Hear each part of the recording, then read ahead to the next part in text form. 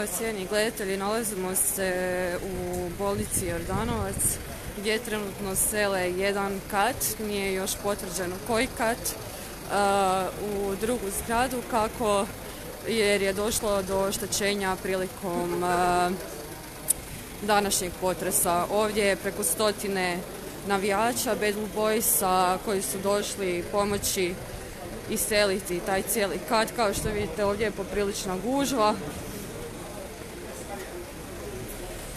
Svi nestrpljivo čekaju u redu i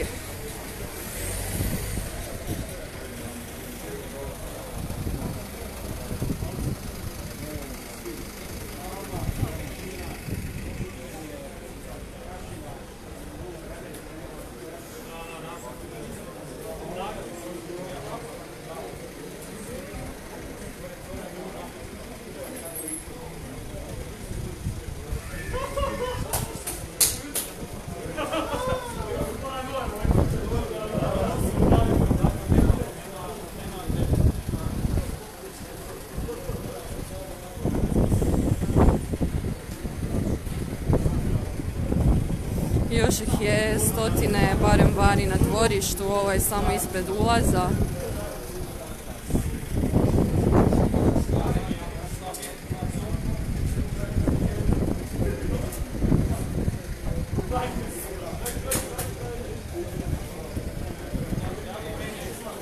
Rekli su nam dečki ovdje da, da čekaju da im iznesu stvari koje onda mogu nositi dalje. Ne znam e, još točno gdje, niti točno koji se kad seli. Evo kao što vidite i na ulazu ima dosta, e, dosta navijača.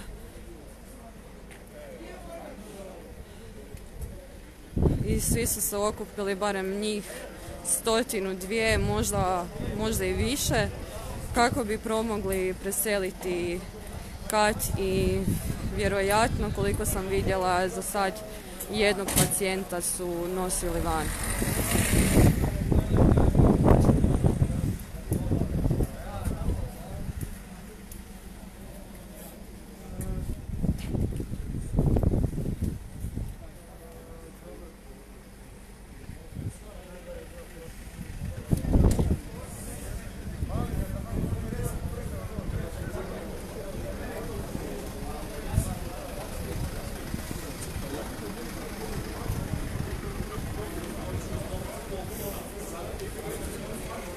Evo, kao što možete vidjeti, i e, iznose pacijente.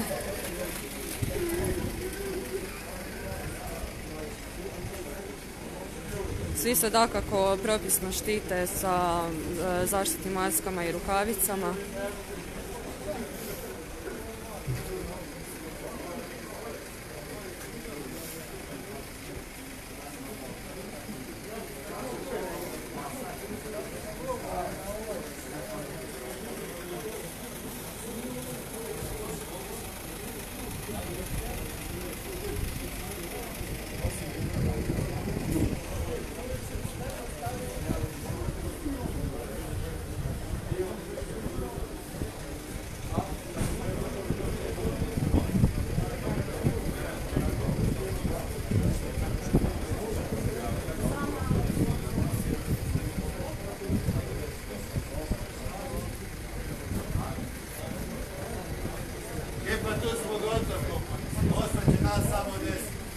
Evo kažu da su gotovi i da će ih ostati još desetak ovdje. E,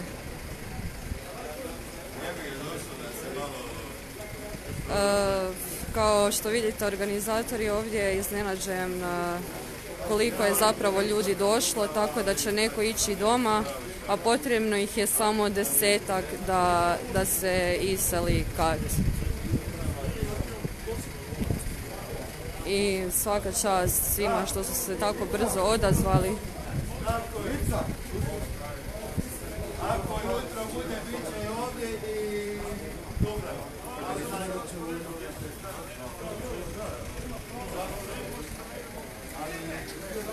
Zaista puno se dečki ovdje odazvalo, svi su spremni pomoći u svakom trenutku.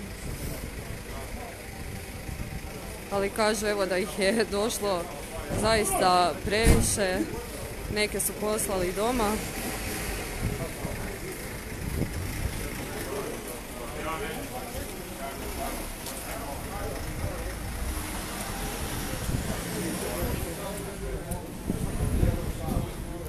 Jer evo sigurno stotina njih, ako ne i više, došla je u KBC Jordanovac kako bi pomogla iseliti kat. Nije još potvrđeno točno koji kat, ali vidjeli smo ovdje i, i pacijente kako su odvozili određene stvari. Tako da, ali evo, izgleda da ih je došlo previše, dečki su se odazvali u punom broju, pa će stoga ostati samo nekolicina njih.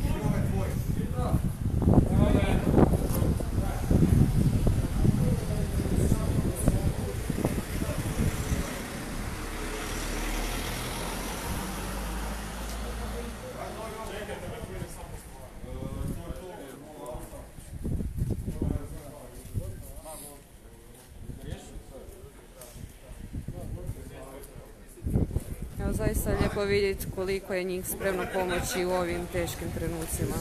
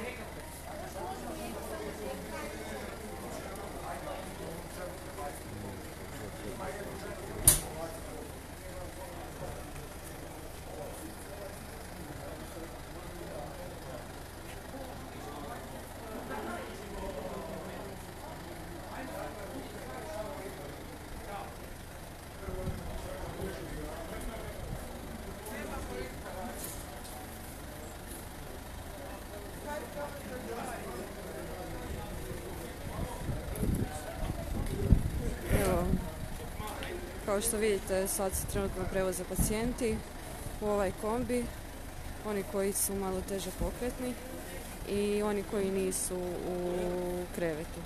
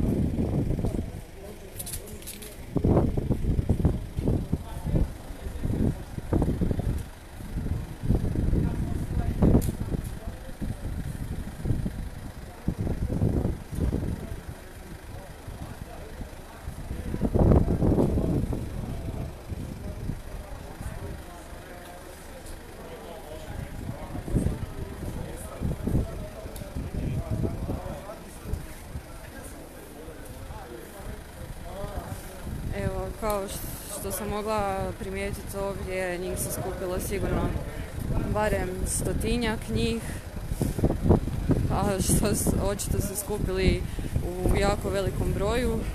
pa su sad neki morali otići doma jer e, očito toliko ljudi nije bilo potrebno da se preseli cijeli kat. Ali eto, svaka čast e, navijačima što su se ovakvom velikom broju i u ovako kratko vrijeme skupili ovdje kako bi pomogli e, zdravstvenim djelatnicima i pacijentima u bolnici Jordanovac.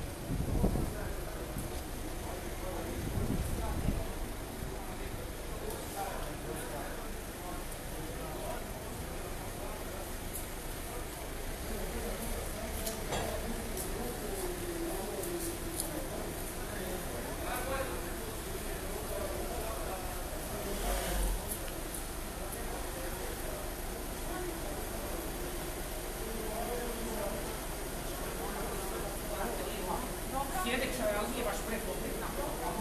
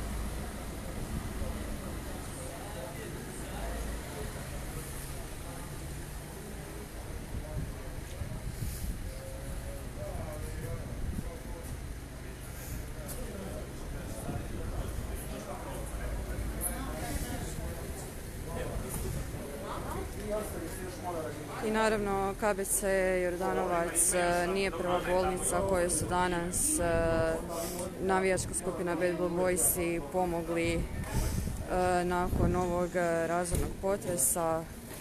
Posebno je ovog slučaj sa Petrovom bolnicom gdje su Bad Blue Boysi odmah iskočili u pomoć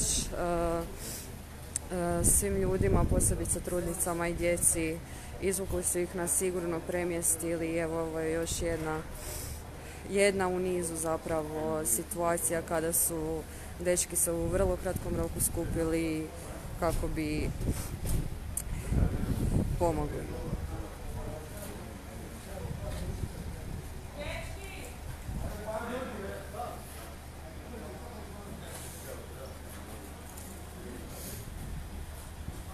Evo, zaista i hladno je vani dosta, sigurno je oko ništice. I vjerujem da je svima u cilju da se ova seledba što prije završi.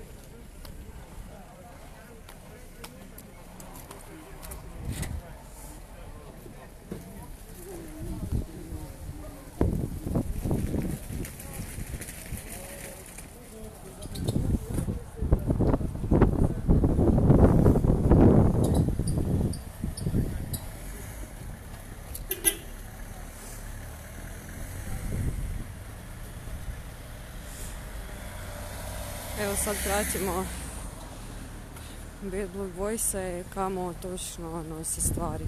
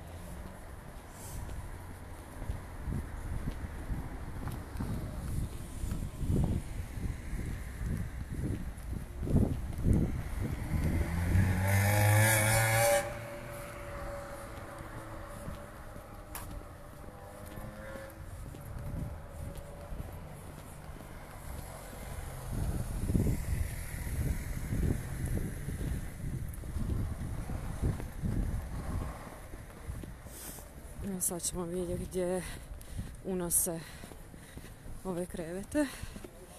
Ovo je skroz drugi kraj, novi kraj bolnice.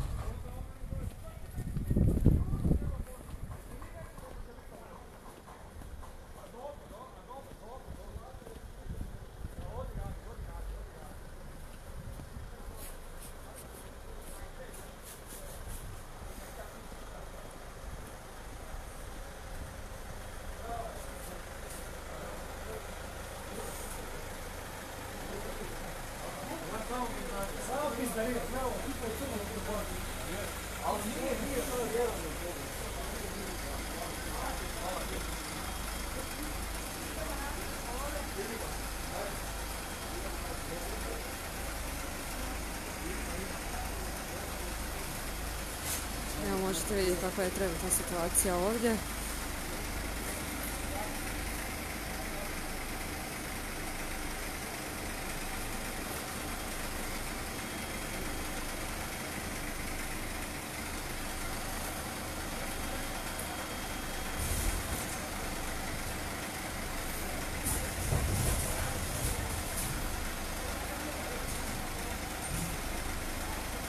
Ovaj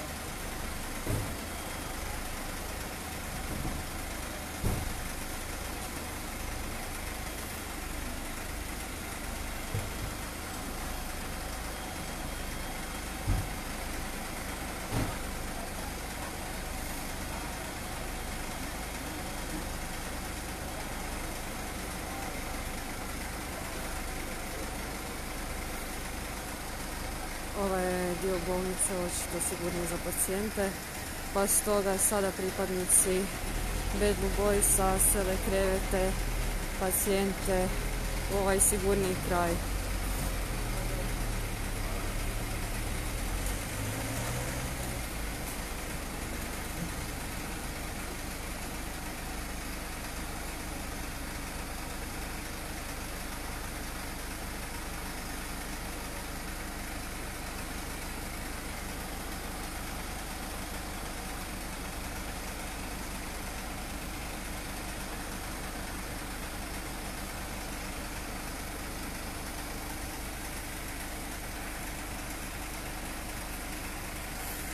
Evo, ovdje imamo zanimljivu situaciju gdje e, pomažu ženi koja je postavljala ove zastore tu. Što je još jedan mali čin, vrlo mali, a zapravo veliki čin humanosti.